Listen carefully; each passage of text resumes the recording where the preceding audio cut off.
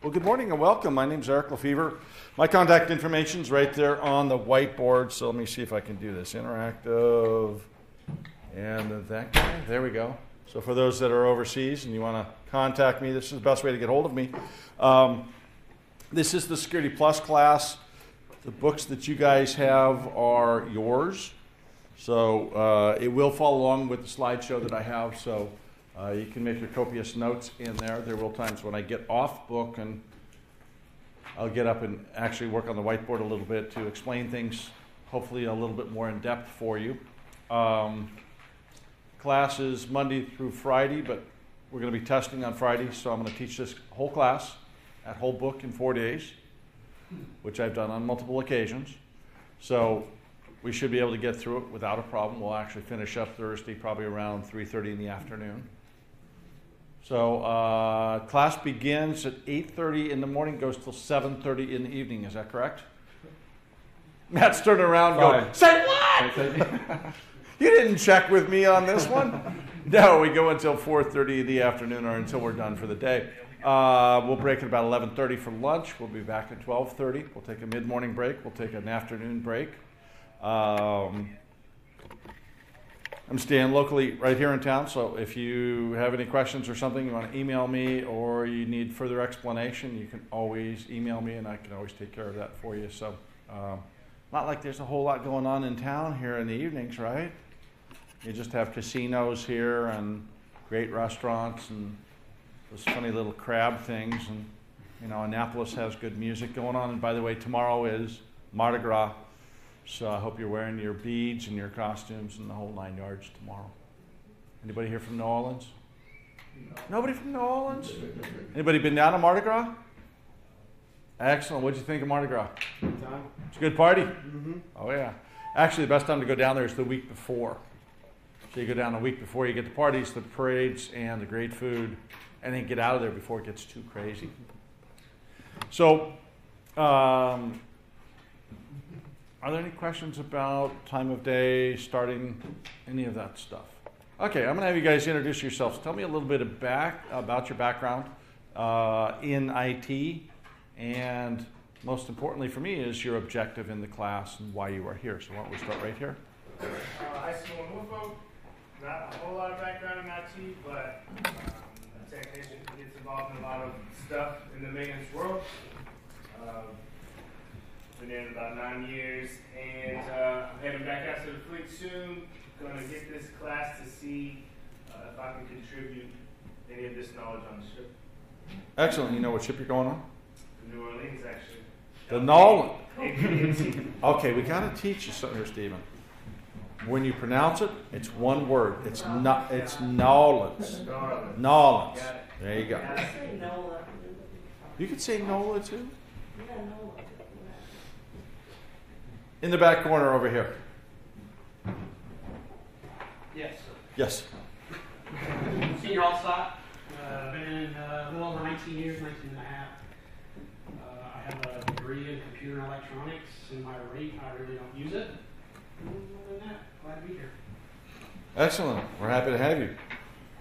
Uh, I just say Nate. Been in the Navy for four years, uh, three years in the Des. Um, other than that, I've only had uh, about six months of IT experience. And I'm looking to further this uh, class. I just, I'm just learning and hopefully it's going to be used in my further career. Excellent. I am Icy Soleil, and I've been in for seven years, and I have zero experience with the IT world, so here I am. Do you have a smartphone? Yeah. Then you have lots of experience with IT, but not with computers and not with understanding how it all works together. Correct? I have a little understanding. Okay. Hopefully, we'll change that. Uh, Bill Mutter, I am retired Air Force, currently teaching across the street at one of the maintenance courses. Uh, IT experience is the, uh, computer-based equipment that, that we use. Excellent. uh, IT three times right now.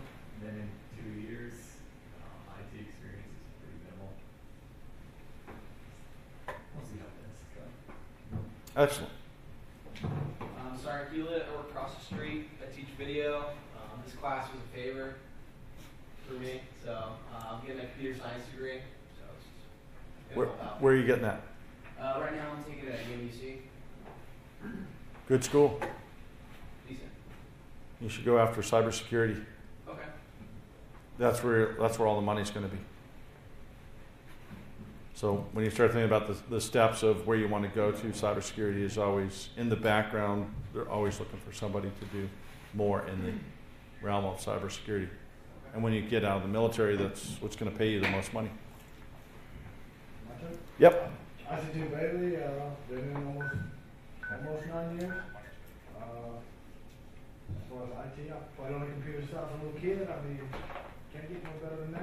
Games are the best place to start.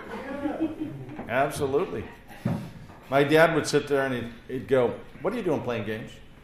Dad, this is how you learn. He's like, I, No, no, no, no, no.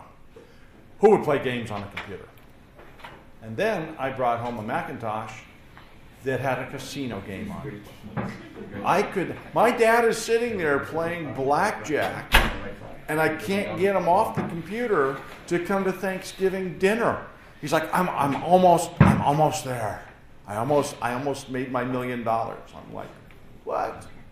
So as we spoke earlier, if you are the last person in class for the day, you have to bring breakfast tomorrow. You're not supposed to say okay. You're supposed to argue. I wasn't told this. I told you Air Force was coming in the front row, didn't I? I didn't know that, but yeah. Um, I see one TS Esposito. Um, I've been in just about seven, and uh, I have a little bit of experience with IT. Not not a lot. Just some of um, our equipment uses um, the IT world, but I'm going to be going into networking at my next job. Excellent. I don't really know very much about what I'm going to be doing, but I was told networking. Networking is fun. Um, I'm ITSA Cruz. I've been in for a year and four days. Um, I did more programming before this, so I taught myself uh, HTML, JavaScript, uh, C++, C Sharp, all those languages, and I'm just trying to venture out. I programmed for many years in DBase 3, 3 plus, and 4. And I got to the point where I'd been programming long enough that I didn't see any new routines of how to do things. And I just got bored with it, so I moved on. Let's build a computer system after that. So that's the pathway I took. Right behind you there in the center. SG2 Rodriguez. I've been in, uh, I've been in for about eight years. I got minimal IT experience. Always learning more. Excellent. Just to your left. IC2 Grant, been in seven years this month, uh, quite a bit of IT experience. Uh, BNet ISSO over here, Bachelor of Cybersecurity and Networking, uh, programming Python. Uh, that's about- oh, Python. You're a hacker. Not, not do it for server side, I built the website, Okay. yeah. I keep my eye on you. And this is the CEU for, uh, my certificate. So on our certificates at the end, it always says this is a 40-hour course. So we made sure that that was put on those certificates just to make sure you, Understand? you got it right there. You can go back to them and go, hey, I got this. Right behind you there. Uh, Jimmy Stedman, Defense Media Activity, work uh, in the maintenance side for transmissions. Basically, everything in the broadcast side is starting to go towards IT, so I'm just trying to get ahead of it and get a better knowledge of it. Excellent. In the back, in the corner. Cool. Um, CNC Fundoc. Um, been in the Navy for 18 years and change right now. Um, I'm a legacy technician like most everybody else here, um, but along with the broadcast equipment, most of our systems are moving up to computer-based and IT systems also. Um, so we're here. Excellent. Hi, I am Staff Sergeant McDuffie. I've been here for 13 years. Um, I work across the street at DINFOS,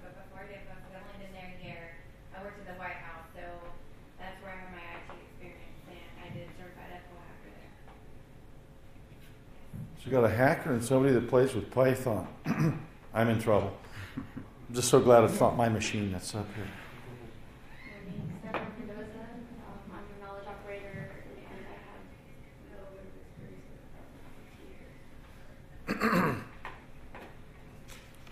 All right, in the back.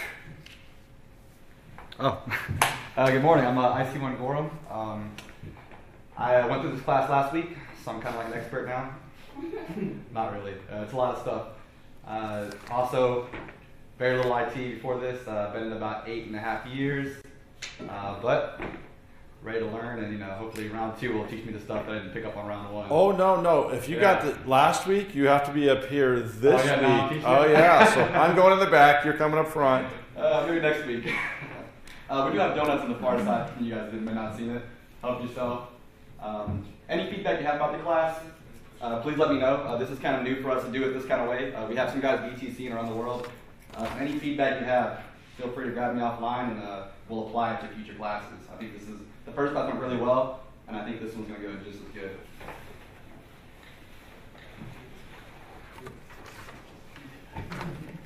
I'm going to go ahead and pass around the sign up sheet. If your name is not on the sign up sheet, please add it in a format that's readable. If you need a little bit more space, go ahead and take as much space as you need to put your name in so that they can read it back at my office. Uh, sign your name. Please place your initials under day one. You're going to put your initials past all the different days. Please do not put a check mark because that's not initials. So your command wants to see your initials. And if we've misspelled your name, please cross it out. If you need room down at the bottom to spell it correctly, go ahead and do that.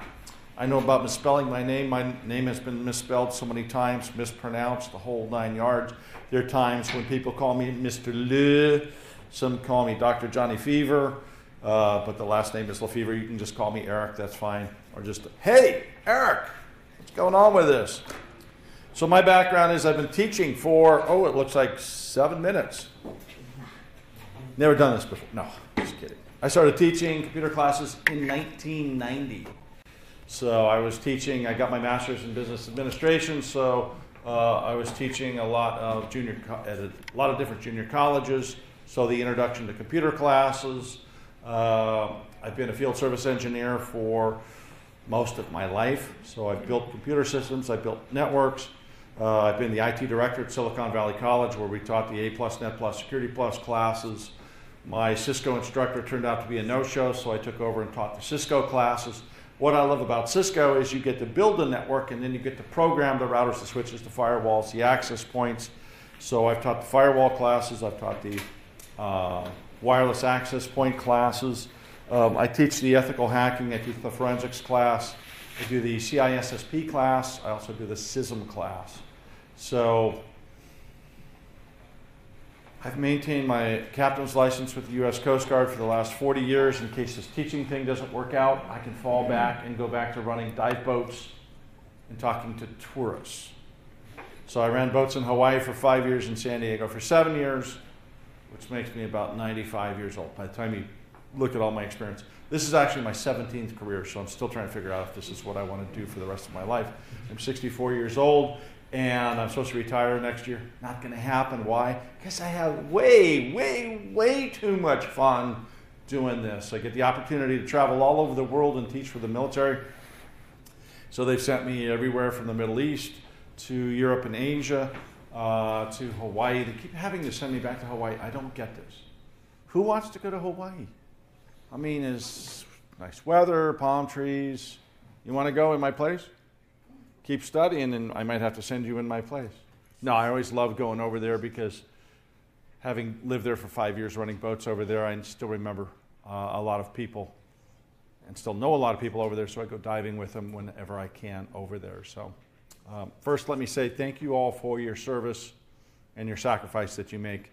You've got my email here, elfcisco at earthlink.net or at Gmail or at Yahoo. Any one of those will work. Um, if you're getting ready to take any exams, feel free to email me. Because if I have any resources at all that I can use to help you out in gaining your certification, I will do that. I will share it with you. So, my goal is your certification. My goal is to make sure at the end of this week you are ready to test out. So, on Friday, if you want to test, you are welcome to. If you feel you need a little bit more study time, we can do that as well. So, uh, I do have a, we do have some systems that you guys are welcome to take home with you. So, Phoenix TS, uh, has brought those in. So I have some additional study materials that are on this that we can put on that for you. Um, you can transfer those off to your home system. Uh, if you've got a Macintosh, it doesn't work well on a Mac unless you have the Windows that you can run on top of your Macintosh. So, again, the more time you can spend going through the questions and studying the questions that we have, because we do have what's called a VCE player that's up on our computers, and it's we've got a file that's on your desktop. If you go through those questions, there's about 300 and something questions, 328. If you go through all those questions twice, and you go through some of the hands-on, there aren't many questions that they can ask that you haven't seen something very similar to that. So the last two classes that I have taught, every one of my students passed their Security Plus. So I want to keep that record going. I have a bet with Sandy, who's the salesperson up at Phoenix TS. I don't want to lose the bet. So again, if you feel comfortable and ready to take the test on Friday, I don't want you to feel pressured in it, but they have Matthew, they have until two weeks from from Friday. Yeah, two weeks. And then, uh, then as you test, uh, please, you know, send all your results on to me for tracking purposes as you knock that out, okay? Okay, does anybody have any questions? Anybody got any answers? We want to start the class earlier in the morning. No, we can't do that because we got people coming in from overseas. Let's talk about what we're going to cover in this course. In this course, we're going to go ahead and make sure that you can correctly use the fundamental security technology. The, we want to be able to conduct a risk assessment. Did anybody run into any risk driving in this morning? Smiling right here. Why? Uh, Maryland drivers. Maryland drivers. Don't look at me. I'm not a Maryland driver. I'm a California driver. We're aggressive. So get out of my way. Um, what's your biggest concern on the road besides the drivers? Oh, there are a lot of potholes. Yes, there are. But yeah, there's some crazy drivers out there. I love the guy who was in the far left lane on the freeway last night who decided that, oh, that's my exit, right in front of four cars. I'm like, are you nuts? There's a little snow out here. It's icy, and you're pulling this one off. The best one, I flew back into California Friday night and then back out here on Saturday. I had to go sign some contracts. And it was raining really hard. And an individual sitting next to me is weaving into my road, into my lane. And, you know, we're only doing 45 on the freeway because it's raining so hard. And they kept coming in, so I came up alongside and they were on their phone because apparently being on your phone is more important than watching the road. So it's like, are you nuts? This is crazy. You are on a freeway and it's raining so hard we can barely see out of this. And you're on your cell phone. Did Did I what? Did you honk? Among other things, yes. Okay, you have to let these people know. I waved many times. Hey! Never, the face never came up from the phone. No matter how often I honked, they just kept looking down like, I'm like, time to exit over to the far right hand side and let them stay in the far left lane, and I'll just go really slow and wait till I watch them spin out.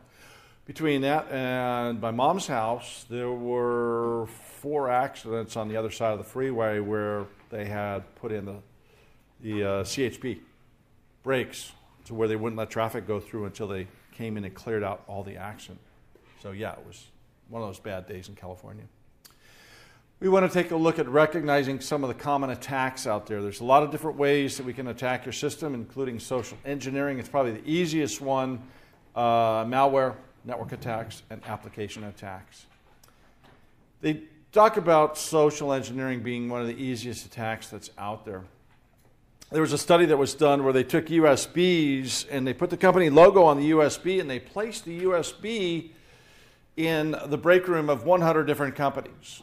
What percentage of those USBs made their way into the corporate network? Only 85%.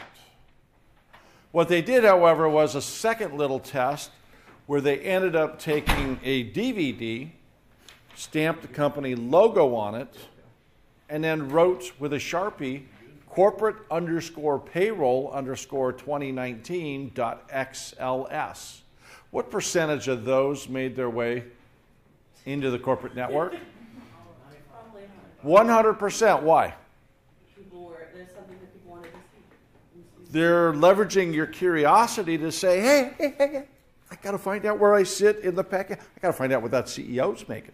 So where do I sit in the pecking order? That becomes real important to a lot of people. That file wasn't even there. The moment they put the disk in and the disk booted up, they had backdoor access into the computer. So that's one of the things that we always take a look at. We want to make sure that we can identify the fundamental network components, the technologies, understand network addresses, recognize some common network ports and applications. We also want to be able to identify common network security components and secure transport protocols. So when you think about connecting out to your bank, do you connect into HTTP or HTTPS? S, why? It's adding in that's SSL or secure socket layer, also now, no, now known as transport layer security, to add that level of security that we have going between you and your bank because you want to make sure that that is secure. We want to make sure that we harden the networks and apply the monitoring and detection techniques. Thank you, sir. We want to explain some common cryptographic techniques and standards, identify the public key infrastructure concepts, and apply some transport encryption to these. We're also going to take a look at applying security controls to our data, to our hosts, and to our mobile devices. How many of you do banking on your mobile phone? How many of you feel that that's secure? I got one kind of, sort of, and a couple, uh, well, kind of, maybe. Yeah, because you have access to see what's going on with your bank account at all times, so you can freeze your card, freeze anything. So do I if I've got access to your phone. How easy is it? What kind of phone do you have? Oh, it's going to be so much harder for me to clone your phone. If you've got an Apple iPhone, it's very difficult for us to clone your phone. If it happens to be one of the others, the Android version, much easier for us to clone your phone. So when you start thinking about your phone, always be cautious because that's the new attack. Everybody wants to attack your phone. They don't want to attack your computer because most people spend most of their time on their phone and they do everything from their phone. So if I can clone your phone and you've got your banking connection to that, all I have to do is then find your capture your username and password. Unless you're smart enough to keep it stored on your phone, then I'll have it as well. So please make sure you put it on your phone. So when I clone it, no, I would never do that. We want to make sure that we plan for secure web applications and our virtual services. So we'll take a look at the ways that we can secure your web pages and also take a look at our virtual boxes that we've got out there. We want to explain some authentication factors and understand the network authentication protocols. So we're going to take a look at the different ways that we can authenticate with the different types of networks that we have. We want to make sure that we can recognize the access control models that are out there, apply some file level access control, and centrally manage the account security. So that's one of the chapters that we've got as well. We want to apply some operational security techniques through the organizational policies, the user training, and physical security controls. When we think about the different policies that we have, we have things like security policies, we have procedures, we have standards, we have guidelines. And these are the things that we're going to take a look at who writes them and who's putting them out there. How many of you are getting out of the military soon? Anybody? Nobody? Really? How many of you are getting out within the next 10 years? When you get out in 10 years, would you like to start making maybe 250 to 300,000 a year? Yes. Would you like to do most of your work from home? No. No, really? I don't like indoors. You don't like indoors. Well, one of the things that a lot of companies do not like to do is they don't like to write their own policies, they don't like to write their own procedures. And the thing they really hate writing is things like the business continuity plan, disaster recovery plan. So you can go out to places like SANS.org, you can get some great templates from them, and then you can start writing these things for companies. How much can you charge a company to write their policies for them? About 150 an hour, which is around 300,000 a year. While you're there, Ashley, can you then do a ethical hack of their system just to see where their vulnerabilities are? How much can you charge for the ethical hack? About 200 an hour? Sure. So far, we're, uh, we were up to around 350,000 a year. Is that enough? Okay, just want to make sure that we're taking care of you. Thank you. You're welcome. so it's something to think about. And after you've done this for about a dozen or two companies, you'll get to a point where all you're going to be doing is that annual renewal of that. And then, actually, how often should we be doing a vulnerability scan of somebody's computer system? Once a year, twice a year, once a quarter, once a month?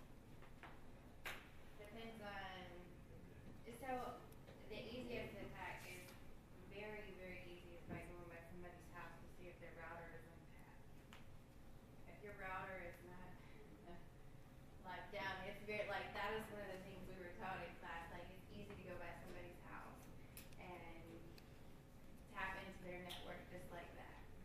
If I can break into your house and I can get into your computer, can I then find your passwords? Yes, Very- people will put everything on their system. Do you notice that most people at home use that same username and password somewhere else, Yes. like their bank? Yes. So if I can capture your one username and password, we can pretty much use that anywhere because you are going to use that those credentials somewhere else. What would be another reason that I want to get into your home computer system?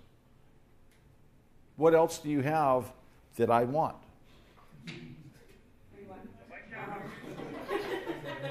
Don't need it.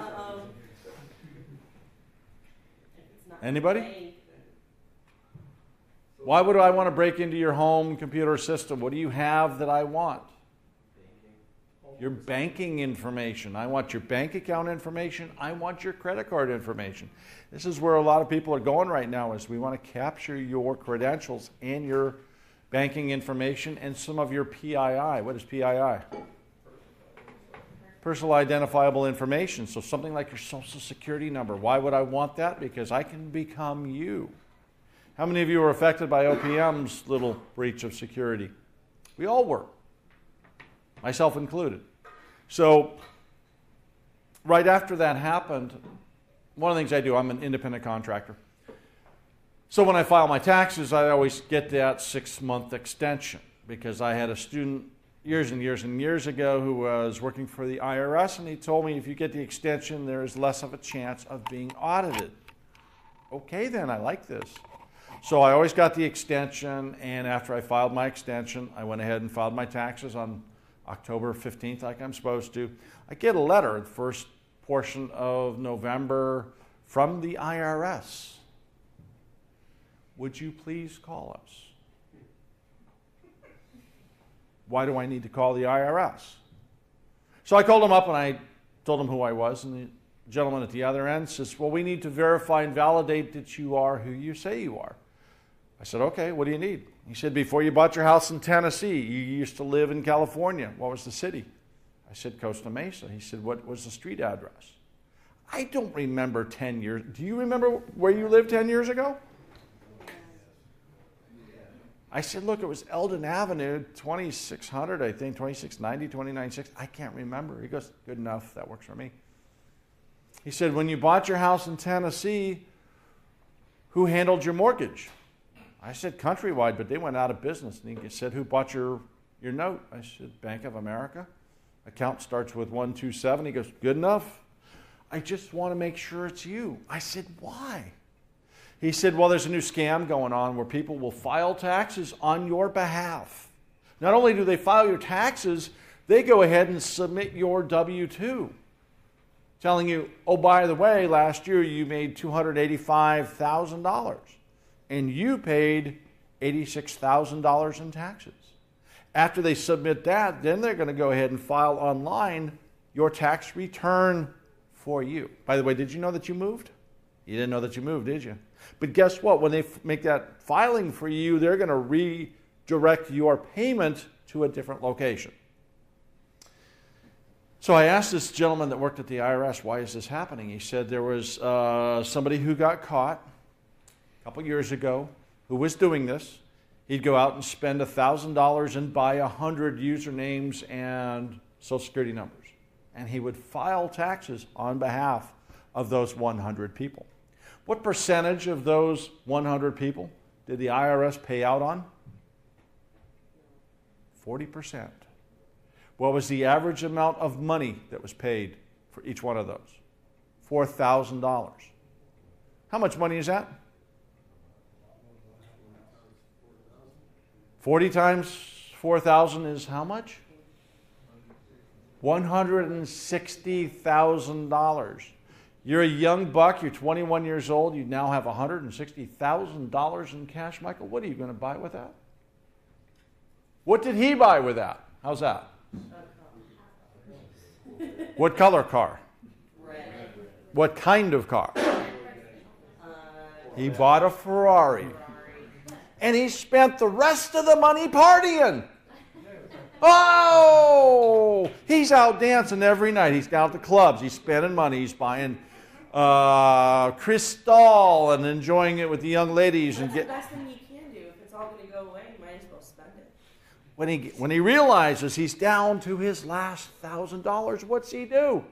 What again? Yes. When they caught him, how many cars did he have in his garage? Seven. How much money did he have in the bank? Three million dollars. Well, you can only buy so many cars, right?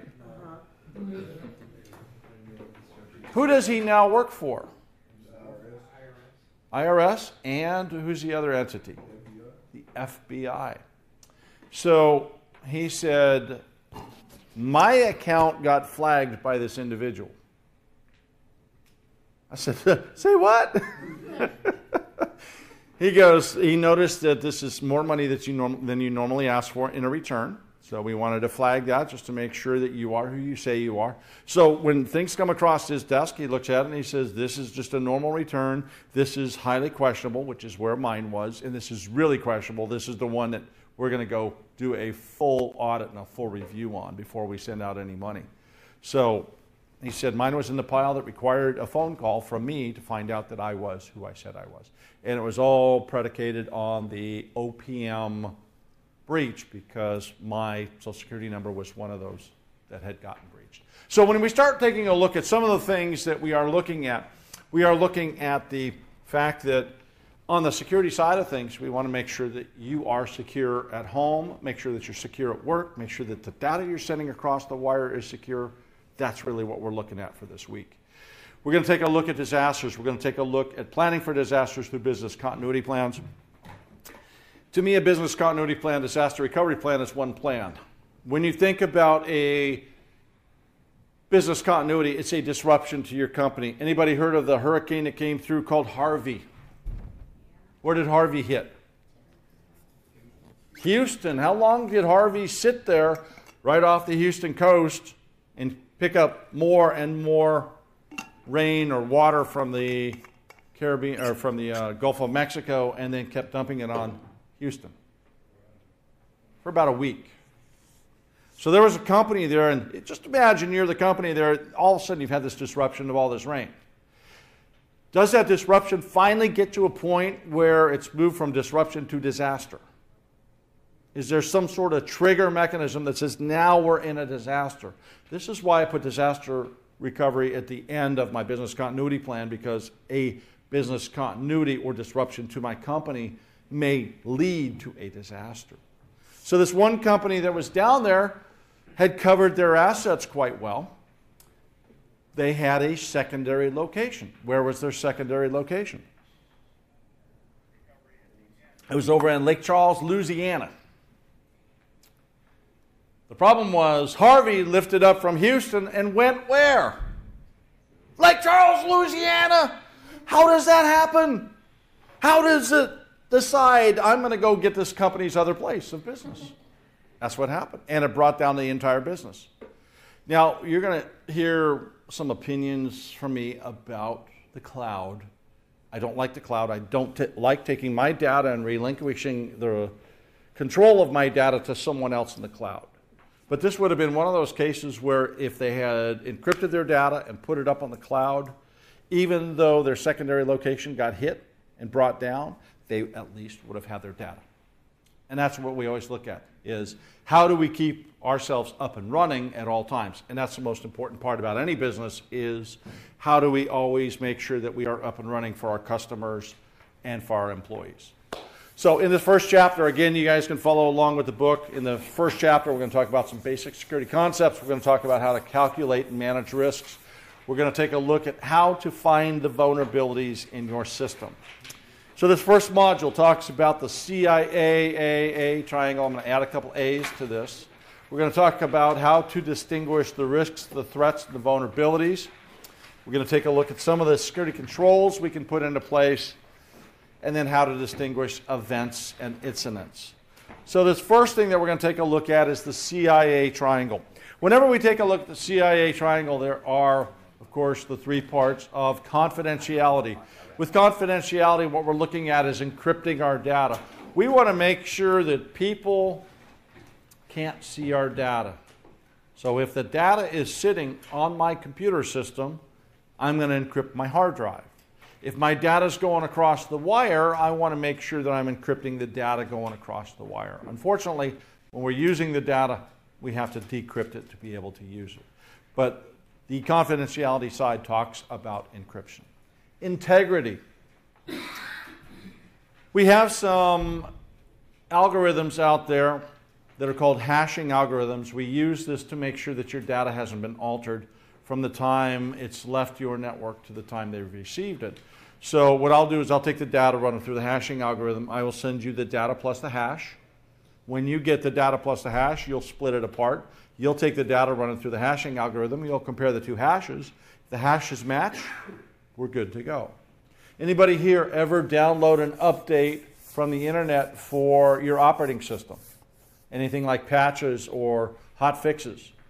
When you're doing that, does Microsoft or Linux or Unix give you the hash that goes with this? Why would they do that? You can verify that nobody has tampered with it. If I went to a place instead of Microsoft, like CNET.com, would I be concerned that somebody might have added something to it, such as a Trojan horse? And they won't give me the hash.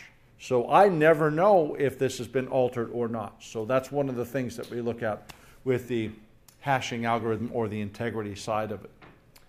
This last portion that we talked about with the A is availability. We want to make sure that this, is, this data is available to you when you need it. How do we make sure it's available to you? What do we do? Well, one of the things I do is I back up my data. I just use a USB or I'll use an external hard drive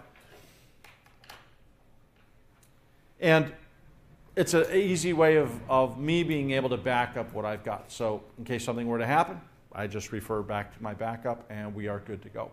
So, we always think of doing the backup. Do we ever test the backup? Anybody heard of a company called Kaiser Permanente Hospital? When I was a field service engineer, I went to all 47 Kaiser facilities in Northern California. I was outsourced to them. So I was the traveling technician going around. So I get a phone call. One of the facilities they have is down in San Jose. It's called Santa Teresa. So I get a call to go down there and restore their network. So I get down there, and the hard drive has crashed on their server. So it's not usable. You can hear the actuator going back and forth, so it actually broke, so you can't it can't, the read write heads can't move. So the actuator actually moves the read write heads. So it doesn't work. So I got to put a new hard drive in there. So I put the new hard drive in, I put the DOS operating system, I go ahead and put the uh, NetWare operating system. After that, I go ahead and put in the tape backup software. After I put in the tape backup software, I drop my tape in there. And to my surprise, there's a catalog that says they have been backing this up religiously for the last 10 years. I went, this is great. So I go to restore it. What have they been backing up for the last 10 years? Only the operating system.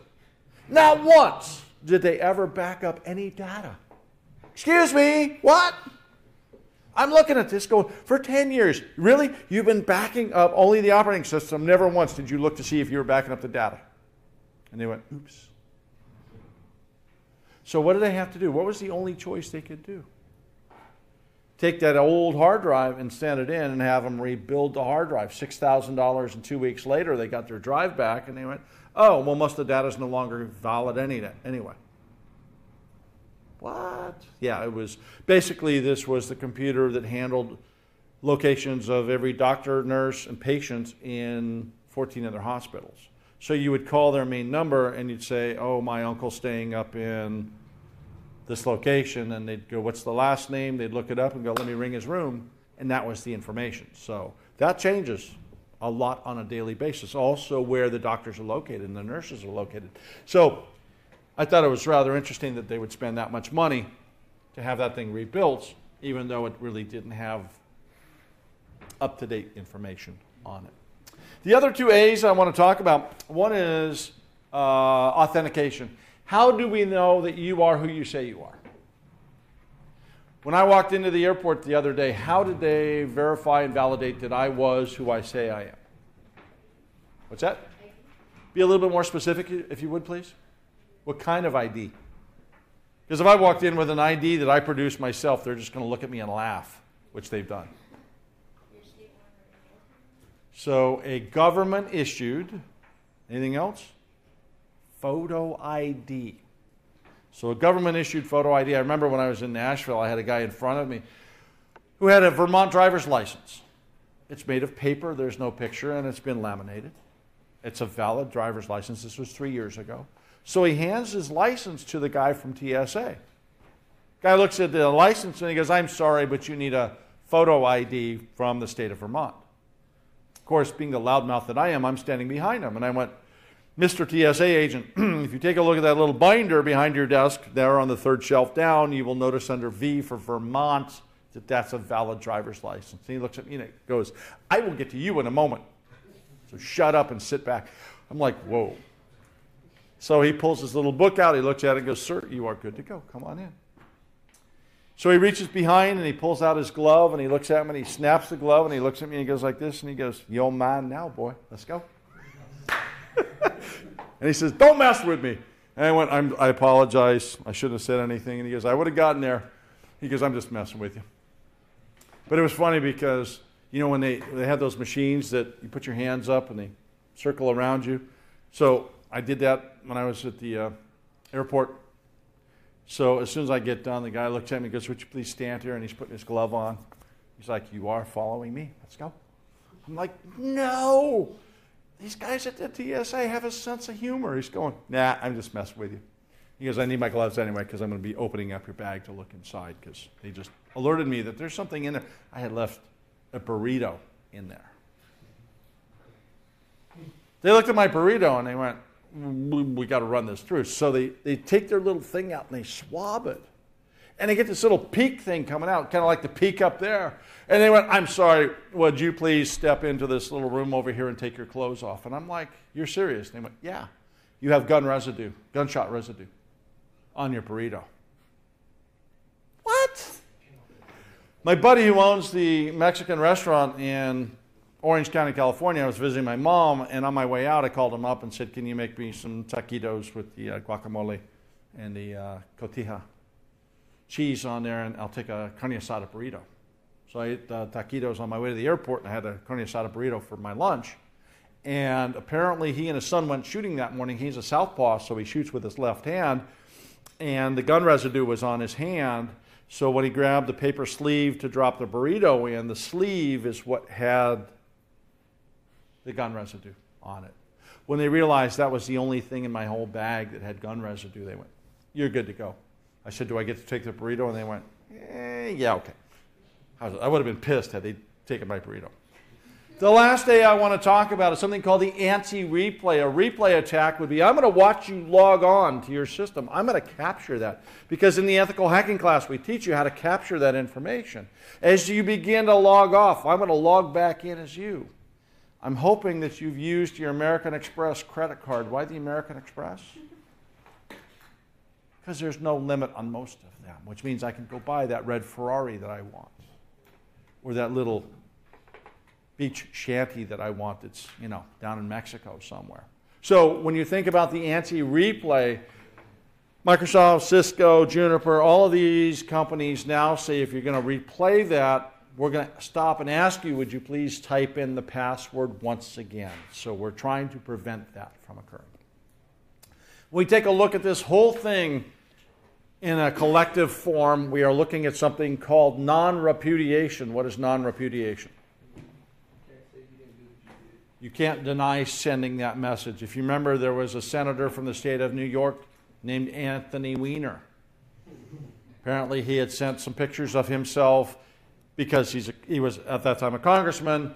Um, the FBI got involved and they asked, Did you send out the tweet right before this? And he said, Yes. Did you send out the tweet after this? To which he said, Yes. And they went, Well, between these two tweets, it was three and a half minutes. There's no way you were unconscious for that time frame. So we have to assume you sent the photos out of yourself. So he went, Oops, yeah, you caught me. So that's when he stepped down and apparently got caught again doing that when he was running for, what was it, mayor of New York City? But yeah, oops. Okay, let's take a look at some of the definitions that we have out here. The risk, the chance of harm coming to an asset. We're thinking about driving into work. There is a risk because there is a chance that someone who is a very bad driver could end up coming across their lane and hitting us. A threat would be anything that can cause harm to an asset. So we think about all the threats that are out there. And even if you're just walking down the street by yourself, there are some threats out there that are always of concern to us. Vulnerabilities, any weakness an asset has against a potential threat. When we think about our operating systems, is the operating system itself got some vulnerabilities?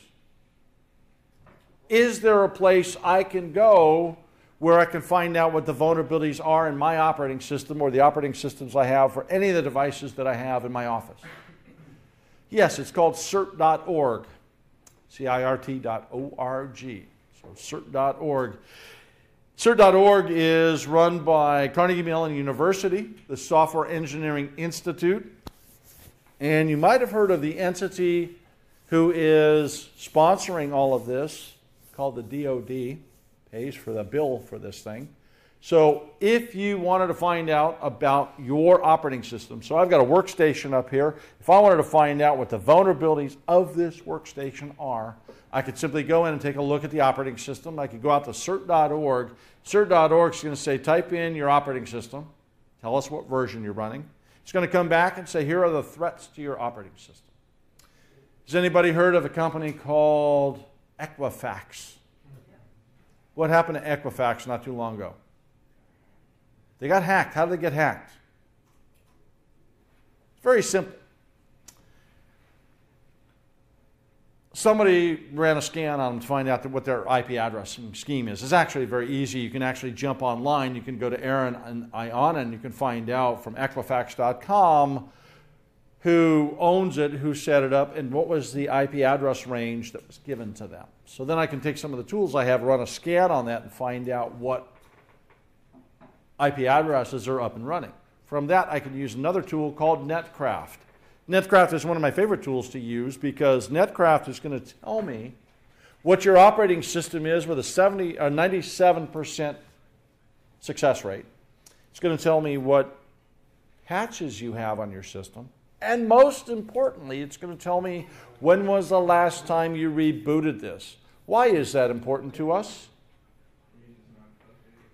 What's that? No, that's where that's update. Patches don't get updated until so you reboot the system. So somebody looked at it and said, "Hey, they haven't put their patches in in two months. Let's go to cert.org. Let's find out the vulnerability and let's go ahead and launch this attack against them." So they got in very easily. I believe they used Metasploit as one of the tools that we also teach in the ethical hacking class. They used Metasploit to get into the web page, boom, and got in there and got again all of my information. Why do people want my information? And your information as well. So every time we turn around, somebody's going after our information. So what's the best thing you can do? What's that? I was going to say move to a little tiny island in the South Pacific. I'm working on finding which finding out which one I want to move to right now. But yeah, you can actually dissolve yourself from the rest of society very quickly from doing something like that. So, um, with Equifax, there's no government control, no government oversight as to any of the credit reporting companies. I would like to see that changed. But we start thinking about our personal credit history and all our information about all the credit cards that we have, um, all the bank accounts that we have, all that information got out there about us. So you should always be a little concerned about your credit. So, with that being said, you should go out to the top three credit companies and you should lock your credit with them. which means that the only person that can unlock it is you. So that's a great way of being able to protect yourself. So there are lots of vulnerabilities, and people know how to leverage that vulnerability to get in to your system. Some of the security standards organizations that we have out there, CIS is the Center for Internet Security. We've got the IEEE, which is the Institute of Electrical and Electronics Engineering, IETF, which is the International Engineering Task Force. The International Standards Organization is the ISO, or actually it's the International Organization for Standardization. We've got ISOC, which is the Internet Society, so they talk about what you can and cannot do up on the internet. We've got the International Telecommunications Union, we've got NIST and the NSA. You've never heard of either one of those, I am sure. And then, of course, we've got the W3C, which is the World Wide Web Consortium. So, when we take a look at the way that we describe how attacks occur, we have Bob and Alice who are going to be sending messages between them, and then we have Eve, who is the evil attacker who will be trying to capture the information between Alice and Bob. This is a standard that's been used across the industry for years and years and years, so we will continue to do that as well this week. So, many times in the ethical hacking, we play Eve and we go in and we want to disrupt or we want to capture the data going across the wire.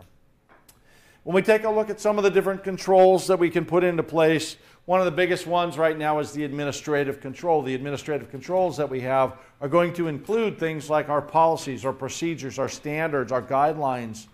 All of those become the administrative side of things. We also look at training. We want to make sure that our employees are getting the proper training to understand those policies and procedures that we have. We think about the technical side. We think about the fact that I want to put in routers and firewalls, passwords, and all these other things. When you guys go to log into your computer systems, requires a two part authentication. What do you need to get onto a computer? You need your CAC and your PIN. So that'll get you in. So we start looking at some of the solutions we put in there are the technical solutions that we've got the operational, the day to day employee activities that we have. So you come into work, you log in, you start doing your work. You might notice that there's some unusual things going on with your system. So, again, that operational is we want to hear from our employees. We want to find out if you think that something is wrong or not working properly. The physical side. I always love going to bases because there's three, I call them the three G's when I come in the gates, the guards, and the guns. Is that a good way to protect yourself? Only if you know how to use them. I mean, I remember the very first time I went to Bahrain and I walked up to the front gate. They've got the big sandbags, they've got some automatic weapons sitting there, and I'm looking at this going, who in their right mind would want to try to storm the front of this? So, yeah, you look at that and you say, what are the physical ways that we can do this? As you're driving along 175, as you're coming around the base, you notice the fence. It's got that double, it's eight foot high. It's got that barbed wire up on top. Why would you want to try to go over that?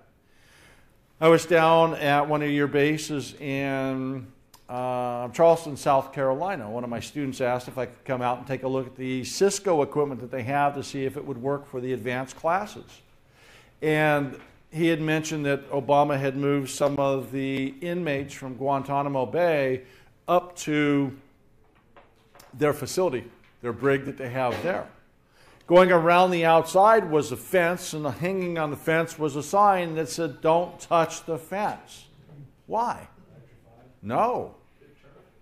It's got motion sensors on it, so if the fence is moving, they notice this. They also have a little notice that says, Don't talk to the inmates. And I went, Do you really have somebody that's going to go up and talk to the inmates? He goes, There was a guy here two weeks ago. Not only was he talking to the inmate, he was hanging on the fence to talk to the inmate. He said he doesn't have to worry about it now because he can talk to the inmates all he wants. Why? He's now an inmate himself. I mean, come on. Knock, knock, can I come in? Thank you. I want to talk to these guys. I'll be there for a while. So you start thinking about the physical ways that we, we're going to take a look at, at defense in depth, and the physical is that first step in defense in depth. So you want to keep people from getting into your facility. The ways that we implement some of those controls that we looked at, preventative would be one of the things that we have. What's a good preventative control that we have out there? Gates guards and guns would do it, wouldn't it? So we started thinking about the guards because security guards are there to provide some discerning discretion on their part as to whether or not they stop you and talk to you. Could be detective, could be a way that we monitor or detect something. So again, it could be that somebody's on the fence and they're actually causing movement on the fence. Could be corrective, follow up controls used to minimize the harm caused and prevent any reoccurrence. So corrective could be that I'm going to go back in and I've lost this file or this folder. I'm going to go ahead and go to that tape backup and go ahead and reinstall that. Could be a deterrent, could be that visible control designed to discourage the attack or the intrusion. In the old days, what did they have outside of the fort? that kept people from just walking into the fort. They had a moat. So unless you can swim across the moat, you're not. And what did you want to put in the moat to keep people from actually crossing the moat? Oh, piranhas or gators. I love that. Yeah, two great answers. So, you know, water moccasins down south would also work. So you're starting to look at that going, no, not good, not good at all. We start putting in some of the confidentiality controls that are out there. Least privilege. We only want to grant you access to those things to do your job.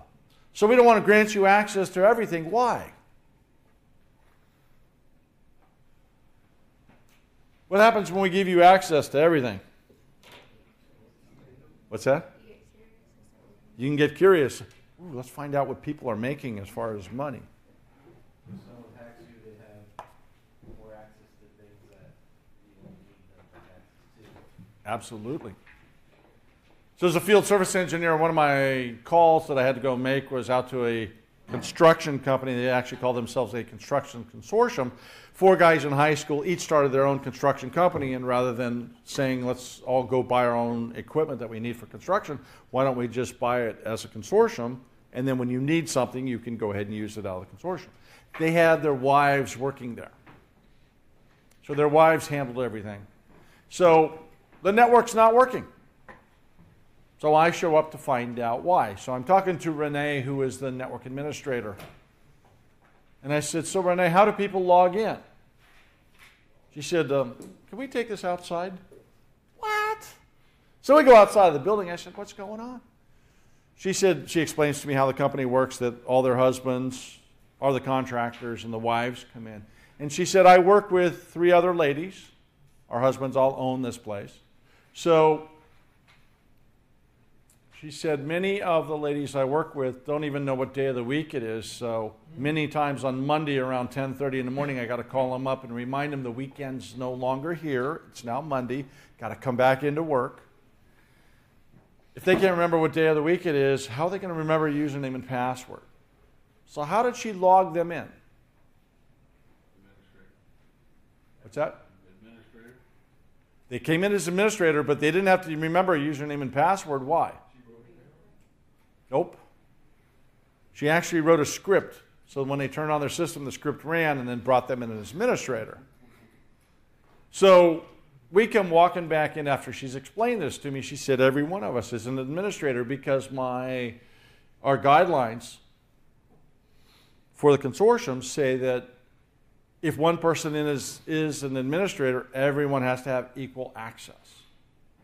So we come walking back inside, and one of the ladies is crying in the corner. She said, It was me, it was me, I did this. What do you mean you did this? What did you do? She said, If you look on my desk, you will notice that I am somewhat OCD. Everything has a place and a place for everything. What branch of the military says that? Navy. Boat captains. Got to watch for boat captains because we are a unique group. We always say that your things have to be in the right place. Why? If my engine just overheated and I need a certain wrench, it's got to be right where I need it because I'm going to need to go grab it right now to go fix that problem before we sink. So, yeah, you got to have a place for everything. So, she said, I'm looking at my desktop of my computer, and there was an F drive up there. What is the F drive on my computer system? It's my file server. She said the F drive didn't belong to her because she doesn't have an F drive. She's got a C drive, which is her hard drive, and an A drive, which is her floppy. What's the F drive? Well, that doesn't belong to her. So, what did she do with the thing that did not belong to her? She drug it to the trash and deleted it. So she deleted the file server. How could she do this? Because she was logged on as administrator. This is why when we start looking at least privilege, we want to make sure people don't do these things. So she drags it to the trash, and I have to end up rebuilding their server. The company I was working for charged 165 an hour for me to go out there, minimum three hours. So it took about that long to find out what happened and to rebuild it. Two days later, what happens? Did it again. Over the next seven weeks, I was out there five times, having to rebuild it. Finally, on the fifth time out there, Renee looks at me after I get done rebuilding it and she says, What do you think she says? How do you quit on your husband? She says, Maybe we should change the way that we log on so that no one's, not everyone's an administrator. I said, You should only be an administrator when you're doing what? Administrative tasks. After that, you should be coming in as an end user. Only time you should be an administrator is when you're doing administrative tasks. So they changed their bylaws to say that anytime Renee needed to come in as administrator, somebody else would be sitting with her. So that way everybody's not logged in as an administrator. We also have something called the need to know. You know, I get the opportunity, greatest opportunity in my life, to travel around the world and go to all these great bases and meet the best men and women in the world and work with them. And I was up out at Offutt Air Base. Where's Offutt Air Base? Nebraska. Omaha, or as I call it in Hawaiian, Omaha. So the very center of the United States, so I had to give it a Hawaiian name. So Omaha, I'm in Omaha, and I'm at this location, and they decide to have me teaching in a SCIF. What? I'm teaching a CISSP class in a SCIF.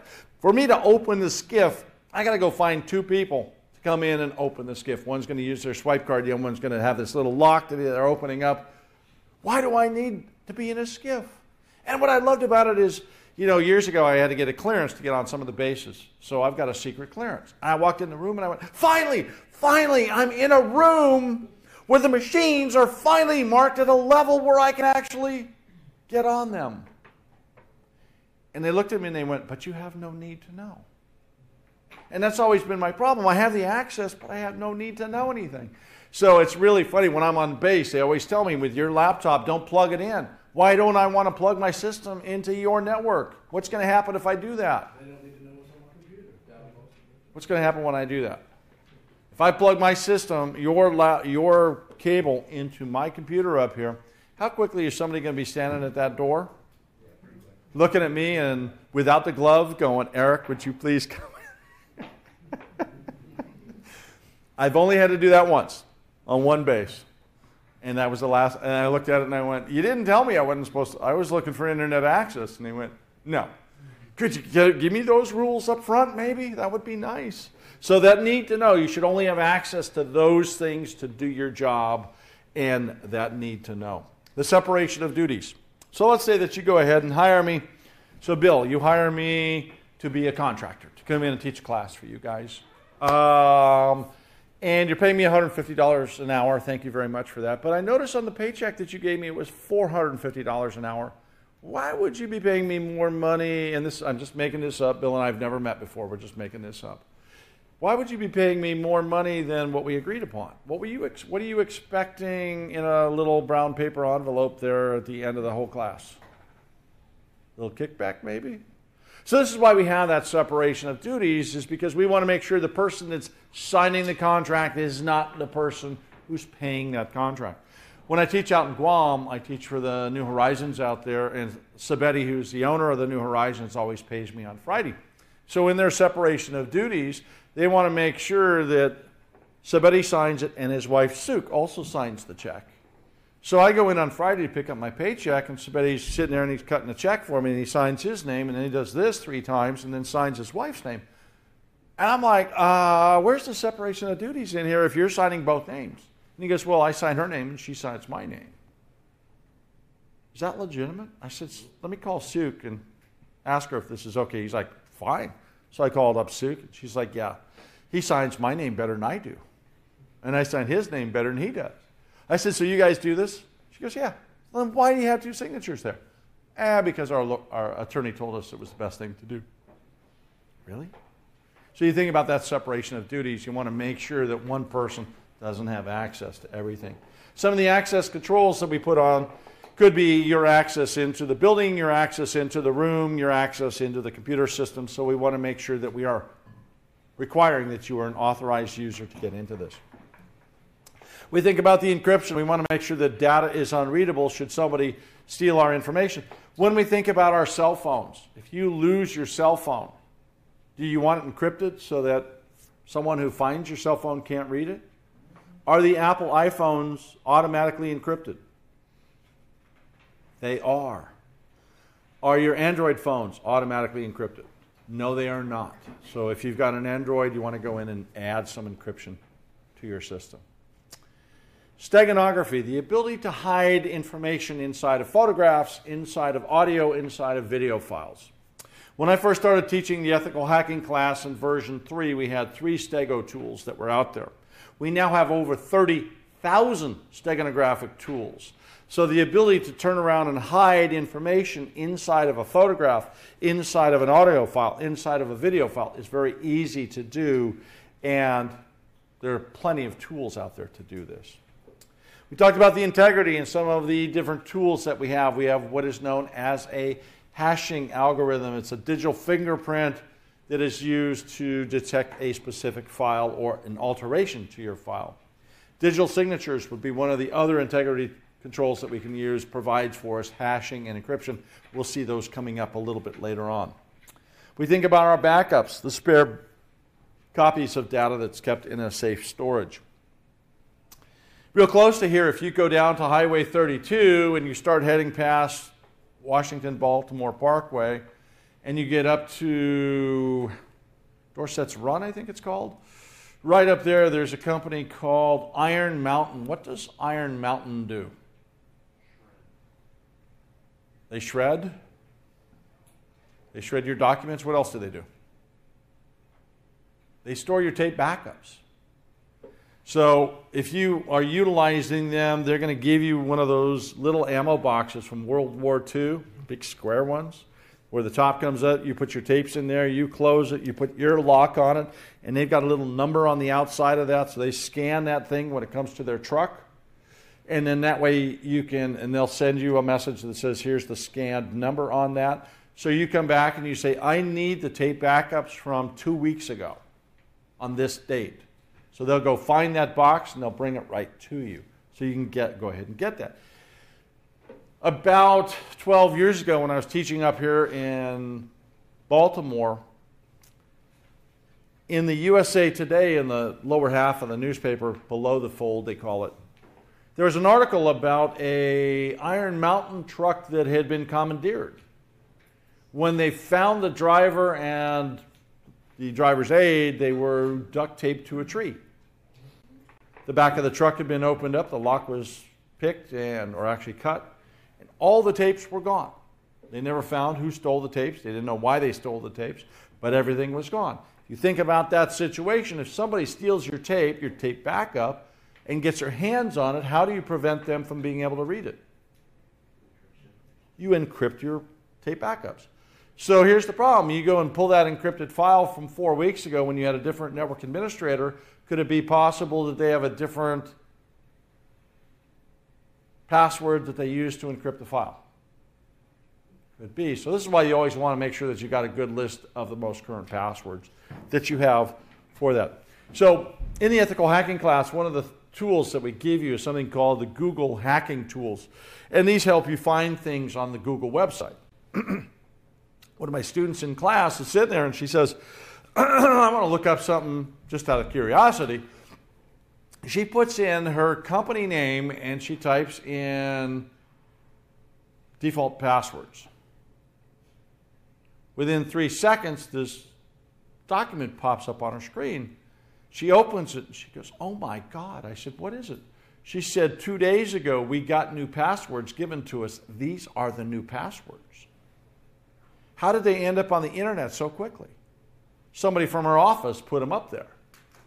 So she's on the phone. She excuses herself, goes outside, gets on the phone, calls her boss up, And she comes back and she goes, okay, all passwords have now been changed, and only certain people are going to get this file. It's no longer going to be sent to everybody in the company because apparently somebody wanted to put it up on the, online so that they would have access to it. There's a big oops right there because sometimes people will do that. So when we think about those backups, we think about where's it stored, who's got access to it, who can see this information. Version control becomes real important. I know you guys being in the military don't always have to update your resume, but I'm always updating mine every time I take a new test, a new exam, update. Anytime the exams come out, I have to take them. It's not one of those, oh, I'm already certified in it. No, I have to take. The companies I teach for, Phoenix TS included, require that all of us maintain our level of certification for every class that we te- teach. So every time I update my resume, which is part of my bio, I just go back into it. And at the end of it, it's just got the new date of the last update that I have. So version control becomes real important to us. On the availability side, redundancy, making sure that we've got multiple or backup systems designed for immediate or quick recovery.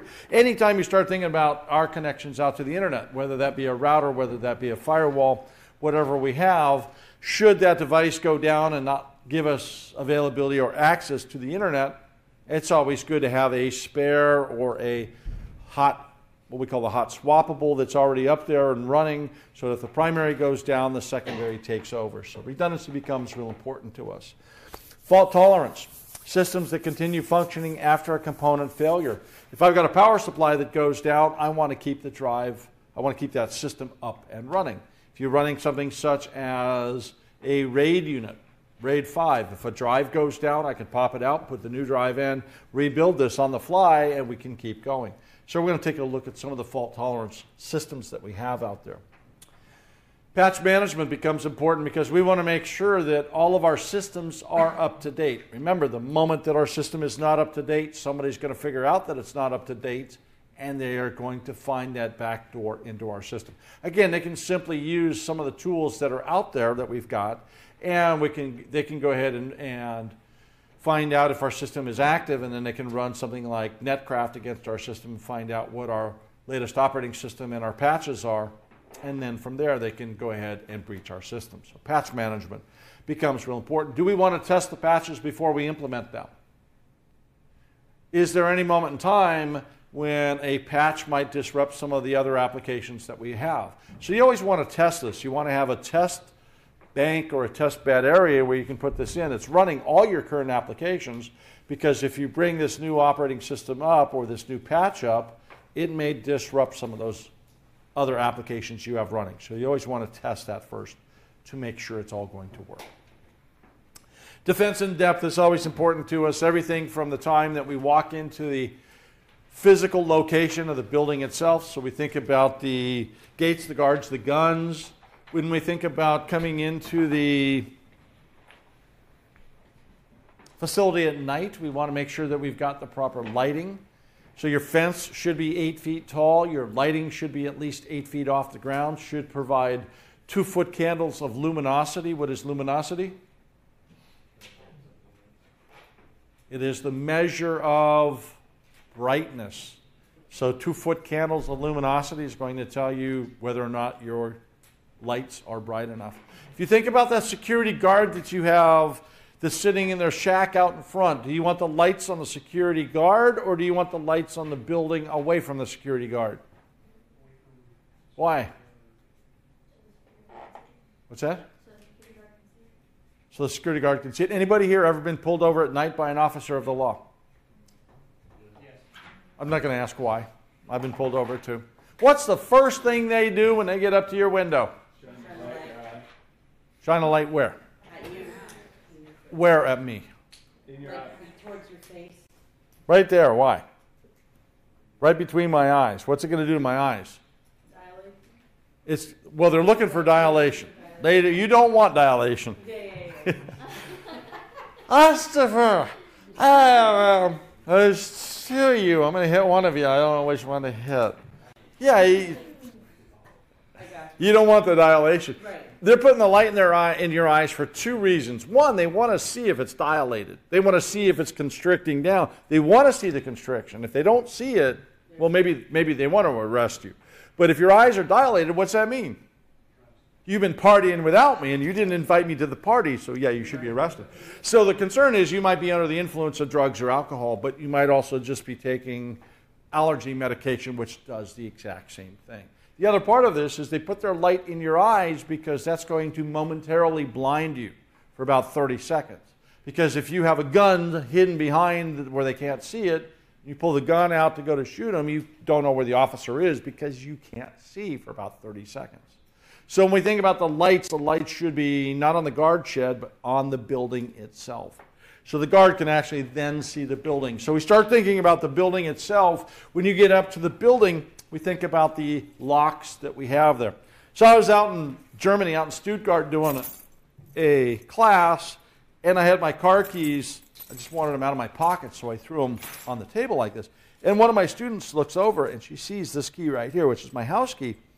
She looks at the house key and she goes, Oh, you got a Kwikset lock at home. And I went, You either are a third story person or maybe you're a locksmith. She goes, Can I borrow your whiteboard for a moment? I said, Sure. She walks over and draws a picture of my key. And she says, Move it back and forth. And I went, Look at this. You got every valley and every peak correct. She goes, There are 10 valleys and peaks in there. We just number them from 0 to 10, and I just look at your key and I can tell what the number I can look at your key. You don't even have to take it off the ring. I could go make you a key. I said, How long does it can take you to break into my house? She said, 30 seconds. I said, 30 seconds to take out your picks and go ahead and do that. She goes, Oh, hell no, I wouldn't do that. Why would I waste my time doing that? I'm going to take out a drill and just drill right through it. I said, See, this is where I got you. I don't have one lock. I got a deadbolt in there too. And she goes, okay, it'll take me 60 seconds because I'll go, and then I'll go, because they're key to lock, right? And I went, yeah. She said, you don't want a Kwikset. What you want is a Schlage. I said, why the Schlage? She says, because when I start drilling it, it's going to drop ball bearings into the shaft as it's turning. And what's that going to do to the shaft as it's turning? It's going to stop it in its place, and then the jewel spins in the opposite direct- direction, breaking the arm or the wrist of the person who's trying to break into my house. Then you just simply call the cops and say, check the local hospitals for someone with a broken wrist. And then you can find out who's trying to break in your house. And I said, okay, that's good to know. So have I changed my locks yet? Maybe. So you start thinking about that side of it. You think about the locks that you have. You think about the way that we get in. most cases, you're going to have a, a your CAC will get swiped, you put in your PIN, it opens up the door and lets you in. Usually, when you come into the front, as we have here, you have a receptionist who's sitting there or a security guard. Security guard looks at me and says, Oh, you're new here, you don't have a badge, so we're going to have you sign in. They take my driver's license. When do they give me back my license? After they've replicated it a few times and sold it on the internet. No, just kidding, they would never do that. Um, they actually give me the badge, which I have to turn in at the end of the day to get my driver's license back so that I can get back on the base later on. Yeah, you got those little quirky little things that you do here. So once I come into the building, I have to think about getting into the room I'm getting into to do my work and also into the machines. So we start looking at all those aspects of what we're doing. So we look at the physical security, the perimeter network, the internal network, the hosts themselves, the applications. So we only want to grant you access to those applications necessary to do your job. We only want to grant you access to the data and the applications to do your job. So we want to limit what you have access to. So as we look at defense in depth, we just keep getting further and further into this. If I happen to have an intrusion detection system, part of the intrusion detection system is taking a look at what are the responses that I might get. A true positive says that a problem occurred and was detected. A true negative says there's no problem, there's no alert. A false positive. I might be trying to gain access into my computer system and I've got the, the cap locks on, I'm not paying attention. How many attempts do I get to log on before it kicks me out completely? Three. Is this really a event or an incident? No, it's considered a false positive because I was not paying attention to what I was doing. I was supposed to get in, but the help desk is going to have to reset my password and say, okay, go ahead and try to get in. The one thing we do not want is the false negative. The false negative says that the real problem went undetected. The person was able to get into our network and we did not know how they got into our network. That's the toughest one for us is when they get into the base, when they get into the building, when they get into our network, we have no idea how they got in or when they got in. So that's always the tough one for us. Okay, we got a couple questions and we'll take a short break. Your first question someone puts malware on your computer that records all of your keystrokes. What aspect of security was primarily attacked? Try again. Confidentiality, yes. So, keylogger com- compromises your confidentiality by transmitting user input the attacker. What type of control would a security assessment procedure be?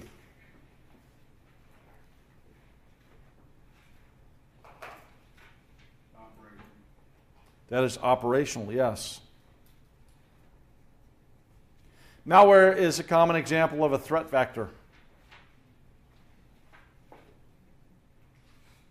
True or false? Yes, it is. So the vector mean the means by which an attack is made. In this case, the threat itself would be the damage that the malware is going to do. Which controls primarily protect data integrity?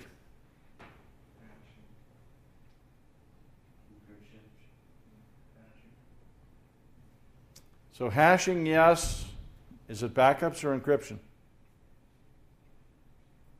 It's going to be backups.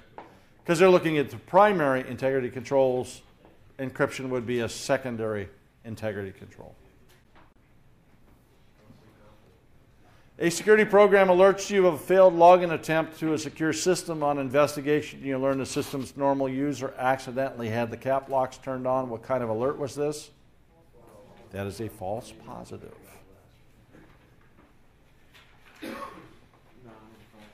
Okay, let's go ahead and take a short break. We'll get started about five minutes to 10 o'clock. So about 12 minutes. Is that plenty of time?